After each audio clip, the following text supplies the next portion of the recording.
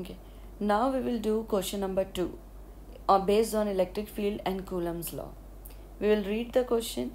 The electric force between two point charges with a magnitude of 800 nanocoulomb and 900 nanocoulomb is 15 newtons. Okay. So we will write first what is given to us. What is given to us? Two charges Q1 800 nanocoulomb. Q2 what is given to us? 900 nanocoulomb. And force is given to us 15 newtons. How far apart? To find.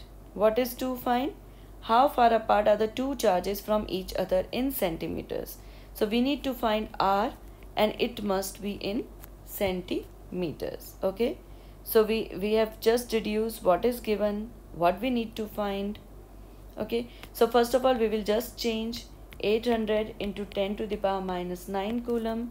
Here we will just change 900 into 10 to the power minus 9 coulomb. 15 newton we will just write it write it like this. So what will be the formula used? You all know the formula? So the formula is f equals to k q1 q2 by r square. Okay?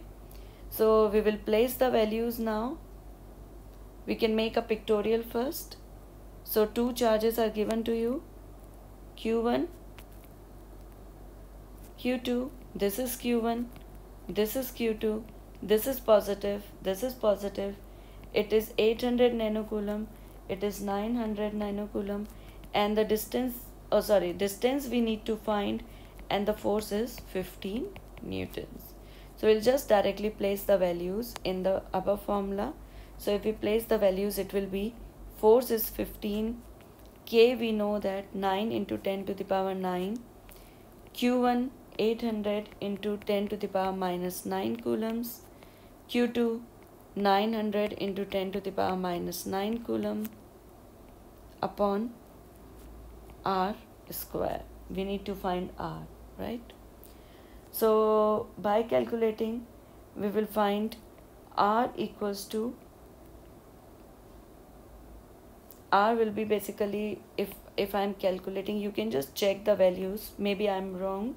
So r equals to 4.32 into 10 to the power minus 4 meters.